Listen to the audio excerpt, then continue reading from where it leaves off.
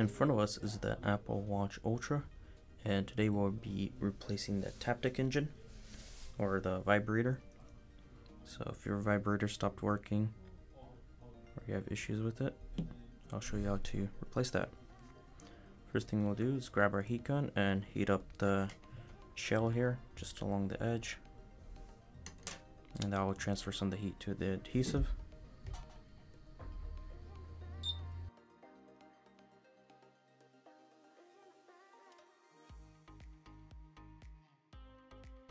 All the parts and tools can be found in the description below. So next we're to grab our pry tool here. Let's go right in between.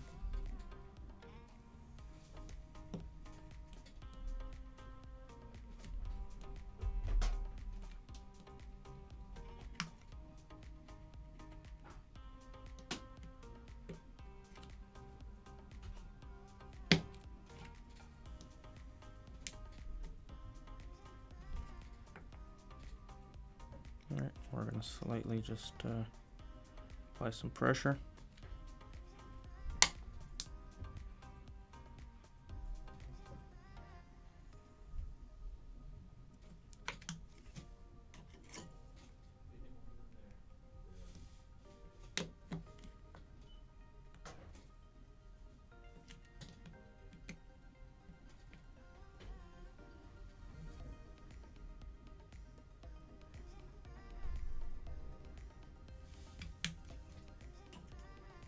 We're going to do that to all four corners. Once you see the screen lifting up just a little bit, just move on to the next corner.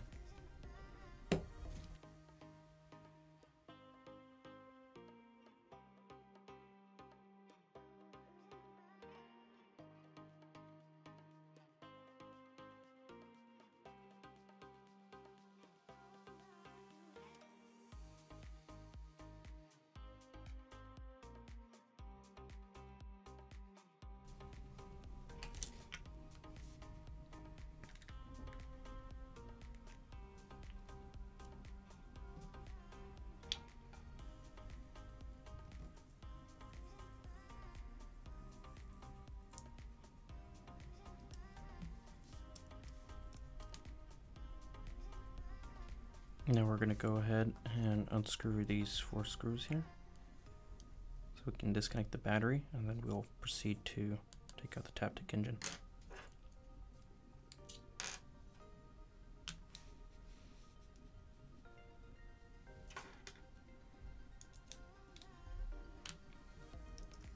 First thing, we will bend out the shield right here that's covering a screw.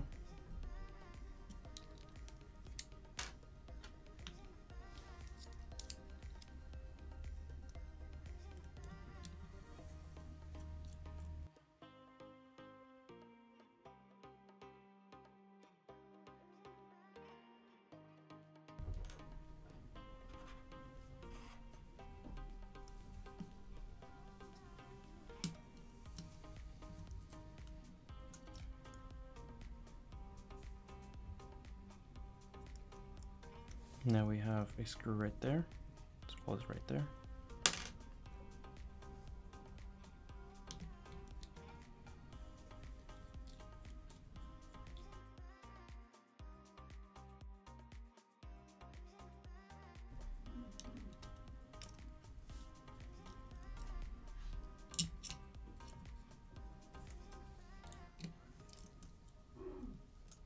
Now the connection for the vibrator is right there we'll just go ahead, disconnect that.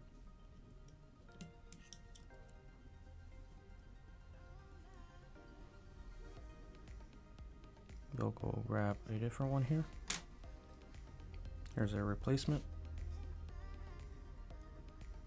So we'll go ahead and connect it back up and start the reassembly.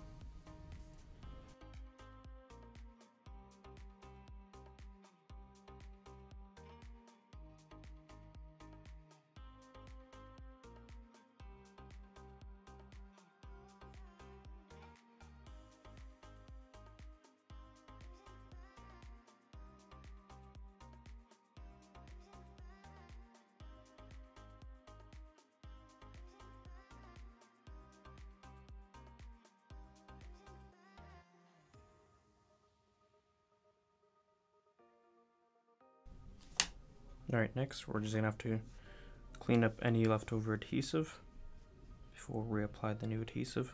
And at this point you can also test your screen and make sure everything turns on. So we'll go ahead and start cleaning up the adhesive.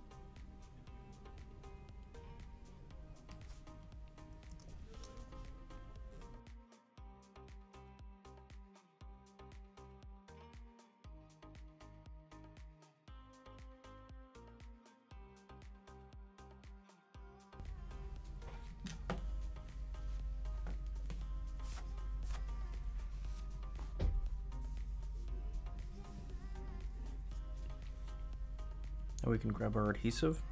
We're to make a nice seal around and uh, place the glass back where it belongs.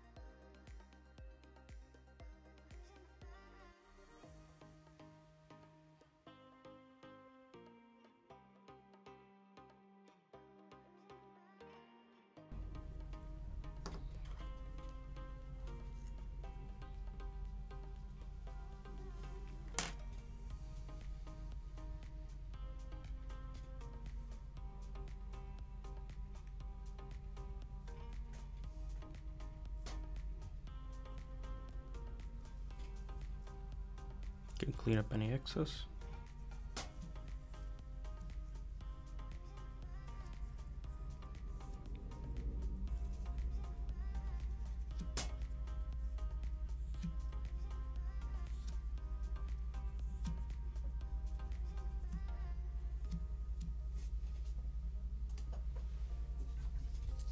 We're going to grab a clamp here.